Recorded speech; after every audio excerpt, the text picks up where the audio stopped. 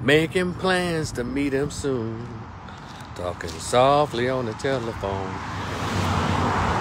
It's alright, I'll soon be gone. Jump and dine and get on up. Shake your body next to mine. Ooh.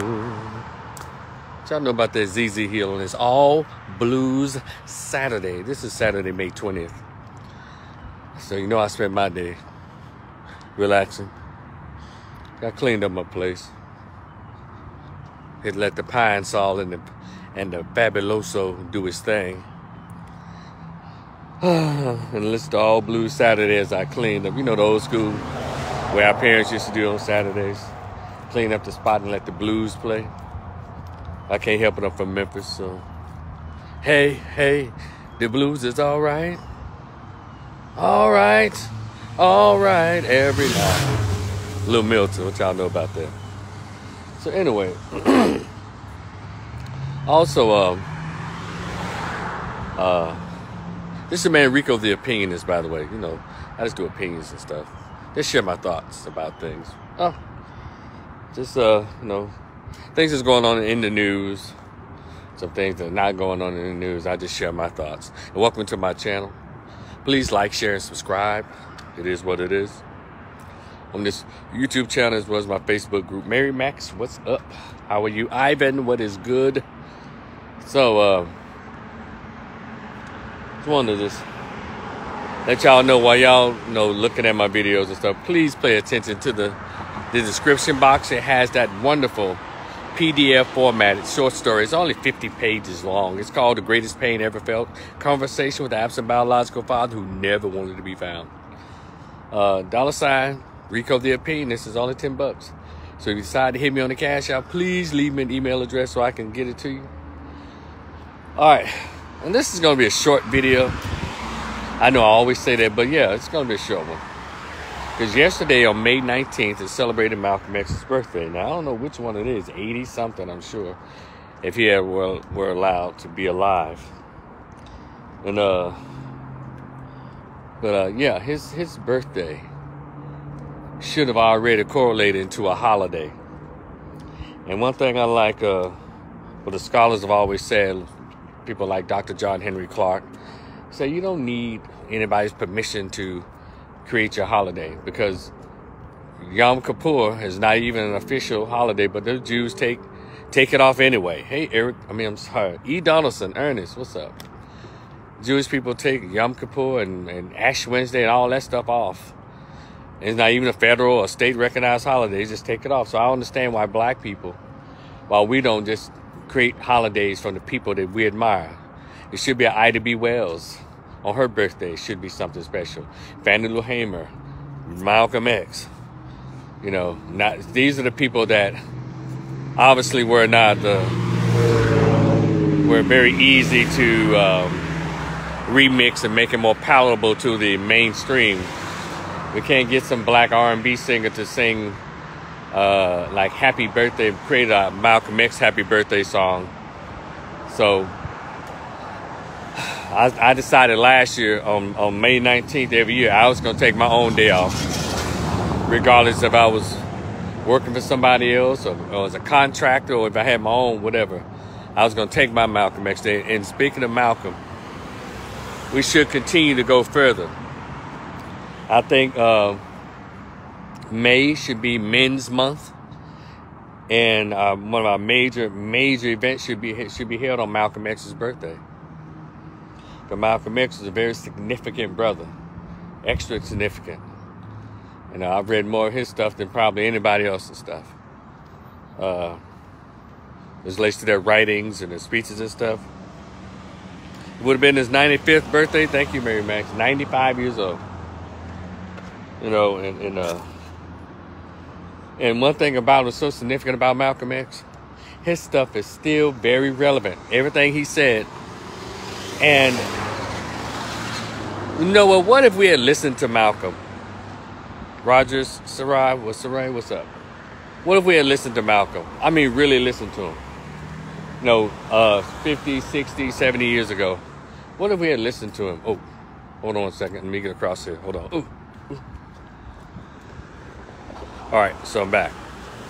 So now, what if we had listened to Malcolm? What if we had listened to him? We would have been a different American in this country. Black folks would be a total different group. But we let other people come in and join forces with the oppressor, the oppressors of our of our race. You know, the integrationists, the multiculturalists. We let them come in, and of course, the media gave them bigger mic- microphones and bigger platforms. Y'all know who they are. But you know, those same folks who was talking about Malcolm X, those same black people, because you know, white folks don't like anything that seems to go on, it seems to look as if it's going to interrupt their their supremacy or their their being on top, their platform, their positioning in the, in American culture, economically, politically, educationally, etc. Uh, they don't like anybody. But thing is, black people, when we uh uh hold on one second, let me go here. It says Rogers Ray says Malcolm X's words ring true and Malcolm X's legacy and MLK's legacy lives on. But you know what? I'm, let me let me uh I don't know what MLK's legacy is because uh because uh his legacy of integration look at us we're at the bottom of all the polls his legacy of little black boys and white girls holding the hand that ain't done us any good uh sitting around letting folks treat us like dogs and shoot us and all this shit that I don't know what MLK's legacy is, how it been, how it's benefited heterosexual masculine black men. Now, in my effect, his legacy probably was great for the integrationists. What about those of us who are nationalists? You know, those of us who wanted freedom and independence, wanted our own. Uh, Dr. King didn't get that message until this last year, so I'm all I'm all email I'm all Malcolm X. I appreciate Dr. King from 66 to 68, but that Dr. came before then just buried us permanently. Now, MLK's legacy is great for the church folks who scared to, to work outside of believing in God. But Malcolm X's words and legacy was do for self. Dr. King was like, we all need to be together. Let them sick dogs on you. Let them bite you in the ass. Let them call you in-words. Let them throw milkshakes in your face. Let them do all this shit to you. So we can appeal to his morality. We can appeal to his... Malcolm X said, you put your hands on me, I put my hands on you. So respectfully, I disagree with the MLK legacy because his legacy is why we so messed up today. Him and his crew wanted integration. They wanted assimilation. And uh, they wanted LGBT after he died. That's the first thing Bayard Rustin did. The main homosexual who was over him, who was one of his advisors, who told him, go the nonviolent route.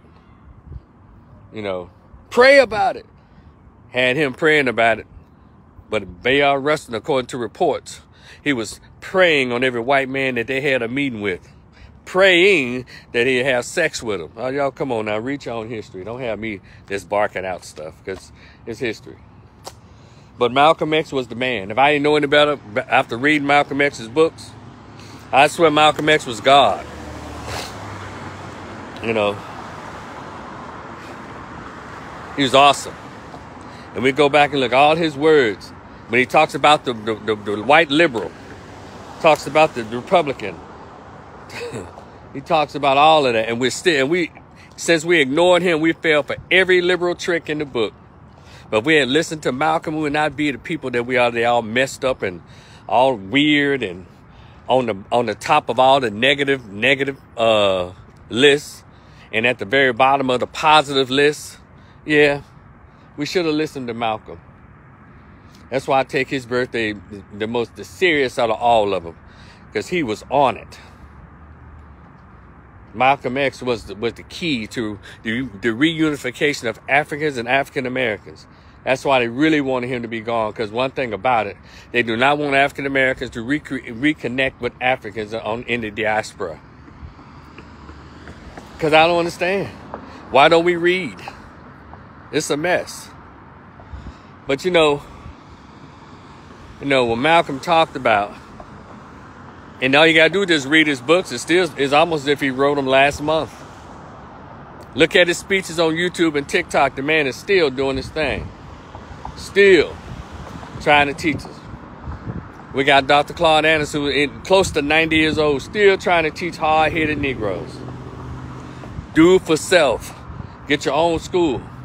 Instead of us listening to Malcolm, we sit around here complaining about what Ron DeSantis is doing in Florida. Well, he trying to take out American history, uh, black history in the uh, public schools. Who cares? Who cares? Because you have history books in your home, don't you? Won't you teach your own children? That's what I just shake my head all the stuff that we're fussing and cussing about, things we can do on our own. They don't want us to go to their school, but, but we have access to bricks and nails and wood and hammers. How come we won't build our own damn schools? And every time you say that, somebody black gets offended about at the at the idea of doing for self.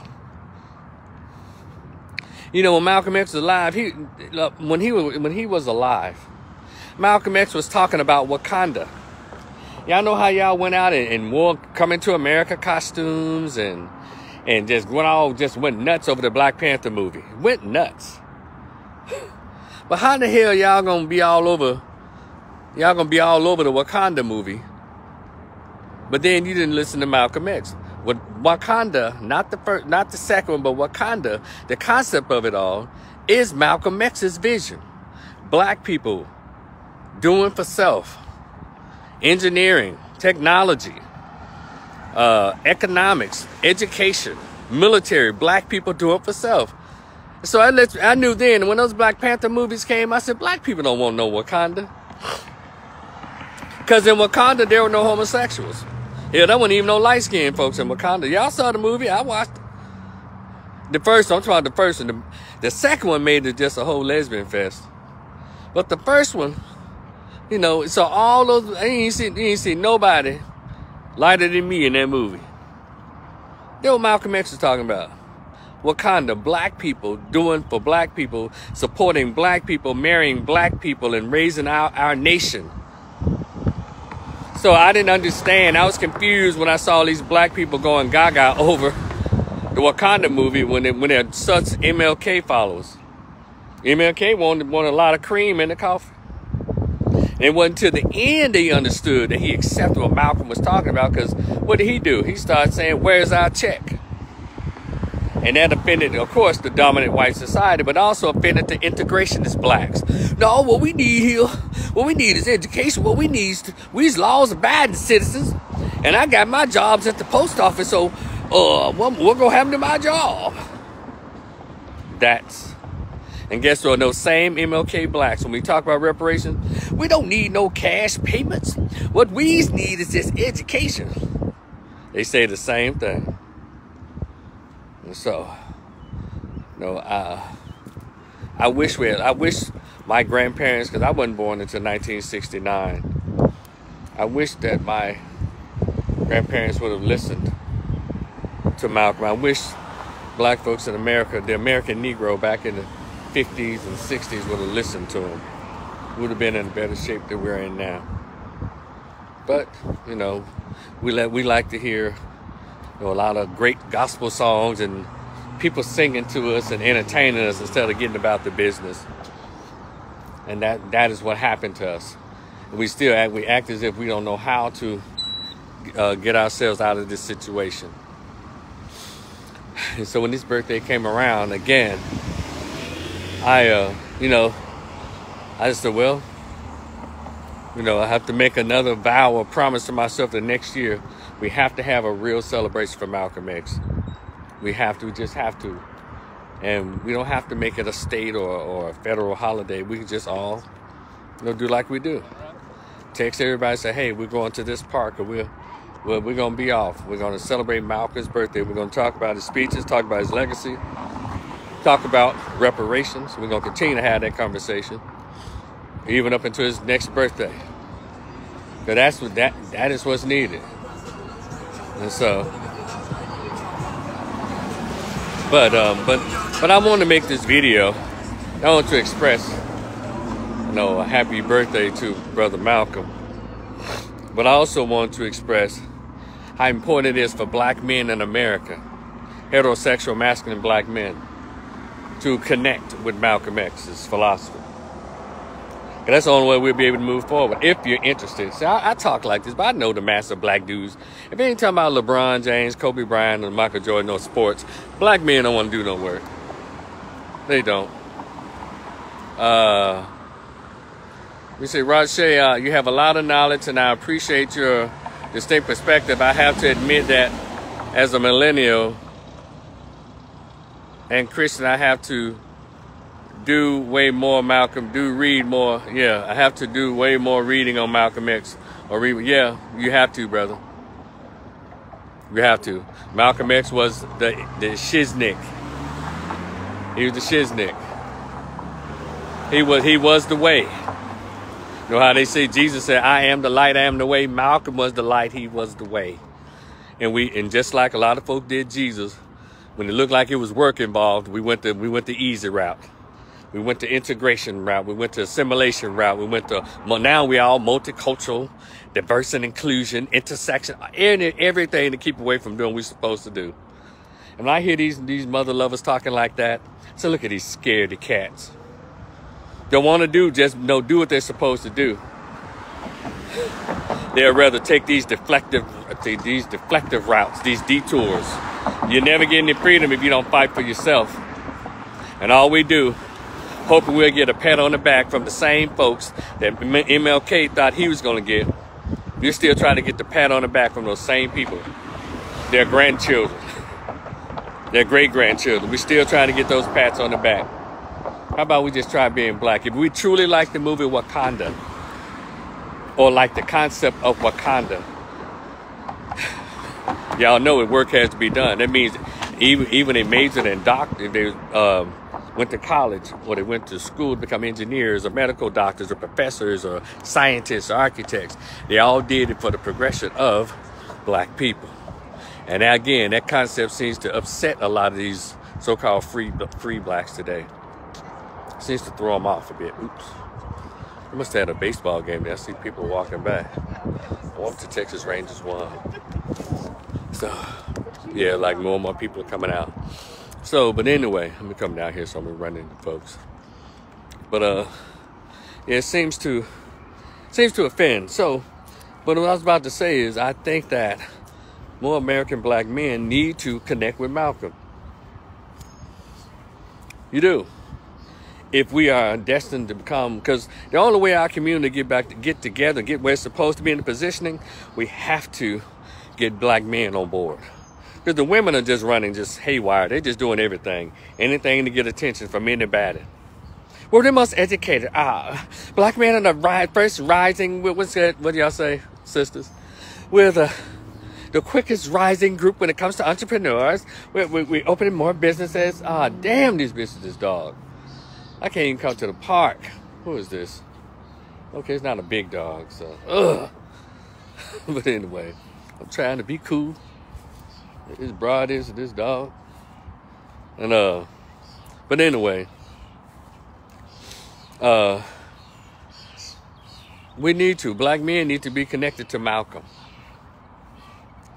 Cuz uh that's the only way our community is going to get back to like like we were between 1865 and probably 1965. No, not in discrimination sense, but in the way of if we want to get to Wakanda, we're gonna have to invest in black men. The women are not going to do it. They can't do it. They can't get through those doors like we can. We decide to really get on code as black men. I know it's how many black men? I don't know about what, 12 million? At least 5 million black men, 6 million black men got on code. You'll see a movement in this country. It was almost like that, you know, during the Million Man March when Farrakhan had 1.2 million or 2.5 million black men, but the message wasn't there. Well, he said, go back, go on and reclaim your neighborhood. He did that, but I guess the message didn't, didn't, didn't stick. No. You got to atone. We got that too. We understood that. But it needs to be brothers need to just read. Pick up pick, pick up Malcolm X book and start reading. Look at some of his videos on YouTube and TikTok. We need to. Because our, our race in this country is not going to be respected, not going to be in a position we should have been in. We should be in economically, politically, educationally. science and the sciences and all of that. We can't be in those positions unless we take care of our do what we're supposed to do as men. But it's so much it's so much tribalism between black men. You got again, we got black Greek males, you got uh, Masonic males, you got church Christian males, you got Muslim males. We all just divided. Then you have independent males, you got Democratic males, you got about six black Republicans. we're just so, we're so divided. so, I'm telling you, we're gonna have to get it together. You know, we don't know who to vote for, how to vote as men. We don't. We've been voting Democrat. Hold on a second, y'all. And it has not paid off for us, not one damn iota. Unless you're, I guess you're an integrationist and a homosexual. But if you're an independent thinking black man, a black, black nationalist black man, the voting Democrat has not worked in our favor. no we, we, we're doing all right because we know about working. You uh, know, as far as the politics part of it, we're to have to get become more political, black men. We're to have to become more political. And I'm not talking about in a democratic sense, because you got a lot of you black dudes who uh, who participate in democratic politics. I need black men to form an alliance, all of us, and participate in independence politics. Meaning we become this huge voting blocks and the, and the sisters who, who love us, well, y'all can come in too, but it's work we have to do as black men heterosexual masculine black men. If there's some gay ones who believe in this mission, cool, you're welcome. But we're not what we're not gonna do is waste any of our goddamn time talking about no damn trans, LGBT, and all that foolishness. That's what the Democratic Party is for, pushing y'all's wayward ass thinking. But what I'm talking about is black men pushing the politics of black men and black family, black man, black woman, and black child. Get it? That's what we're doing. And so because until we decide to get together and be men together, we are not going to be a part of. We're not. Don't even. Don't you know? Let me tell y'all something. Did y'all know these American politics don't even? They don't even count us. They don't even count us. Cause they know we just trying to around here trying to round us some cooch. All we want to do is talk about sports, and that's all Negroes like to talk about: sports and pussy. Debate me on it. You ask them anything about the political system, or how or talk about how they can get together and create policy that will protect black men and black boys or how to change the school system they will know what to do. But you talking about the who's the highest score lebron james or or uh, michael jordan you can't get these negroes to shut up. And that's why we need to change our focus. You know what i'm saying? And, and that's why a lot of brothers need should have been into malcolm x Malcolm X gave us instructions. There's a book he wrote that I read and I really loved. It's called The End of The End of White World Supremacy or White End of White Supremacy, White World Supremacy by Malcolm X. A bunch of lectures. Very good book. I may need to go back and read it again. And of course, read his autobiography. And that's what brothers need to do. And also read that Willie Lynch letter. The black men are making it sense. Y'all got all the majors. You, you, you, you got all the job positions. You sit on boards. You uh, in banks and corporations and in the police department. Y'all everywhere. And still, no, the needle is not moving for black men. On this Malcolm X's birthday weekend, we need to become more focused. Yeah. Y'all think of everything else to do other than what we the work we need to be doing. You know, what's the latest thing that black men want to get involved in? So many things. I think it's cigar bars and shit like that. You've been in there a while, but that seems to be the, the new thing to make you feel special. You know, I guess because I'm not, I don't smoke cigars, I'm not into sports like that, I don't care. But I can see, I just kind of pay attention to where I, where we, what we like to uh, put our attention on. Instead of coming together as a group and just talking and say, hey, look at all the statistics that are not in our favor. Black men, most incarcerated black men, the main group that's shot by the police, the main group. Yeah, everybody gets shot, but it's black males. Educational system, black boys, uh, at least three times suspended from school. What else? Black males. One of the main ones, main ones, caught up in the child support system. but yet we don't have any black male groups to, to come together. The black men don't come together to try to bring an end to that. And who gets their ass handed to them the most in state and local politics? Black males. And every time they show somebody committing crimes in these neighborhoods and whatever, black males. So it's not up to white liberals. It's not up to women to solve the black male problem, even though we didn't cause a lot of them. But we can get together and, and solve them. You understand? Hell, reparations can be paid if more black men. you said high blood pressure and hypertension? Yeah, look what we live under. High, yeah, stress. Yeah. Yeah, but we live in stress every day. You know, those of us who give a damn, we live under stress, depression, and anxiety. Black men, black boys, that's right. Now, if you want to go for our health route, there are more things we can do to get our health together. But that, but uh,